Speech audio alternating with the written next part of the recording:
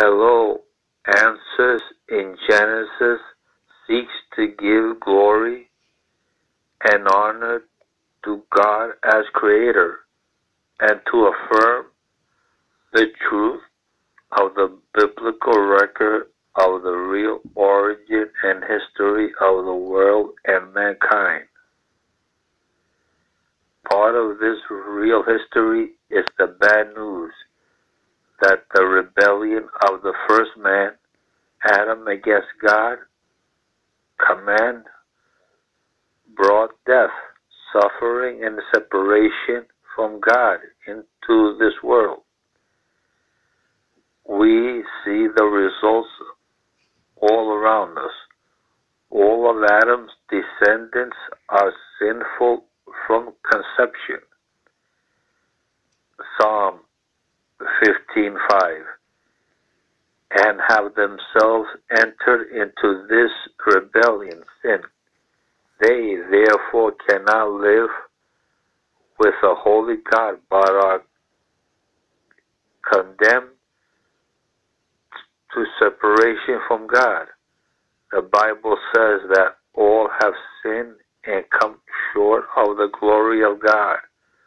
Romans 3:23 and that all are therefore subject to everlasting destruction from the presence of the Lord and from the glory of his power. Second Thessalonians 1 9.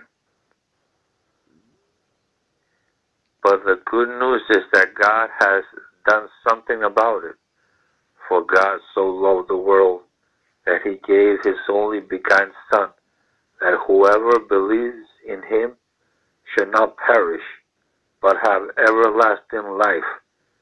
John 3:16. Jesus Christ, the Creator,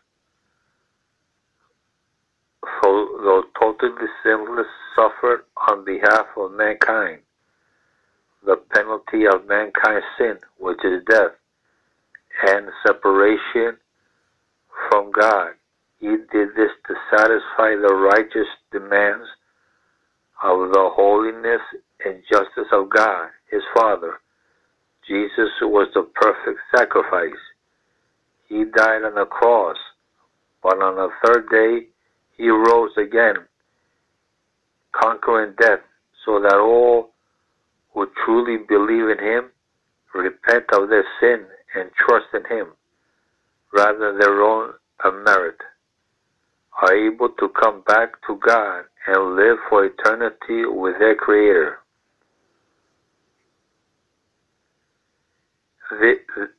Therefore, he who believes on him is not condemned, but he who does not believe is condemned already, because he has not believed in the name of the only begotten Son of God.